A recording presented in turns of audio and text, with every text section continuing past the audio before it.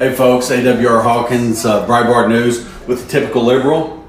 How are we doing? And we're just talking, of course, guns, politics. And I wanted to ask you, what do you think when someone like Eric Swalwell is running for president and he tells us that his main thing is that he's going to do a forced buyback of, of quote unquote assault weapons? What's your reaction to that? Well, to start out with, I don't think he's man enough to even wear sunglasses inside like we are, man. and when it comes down to the nitty gritty of it, that's not the kind of politician that Americans want.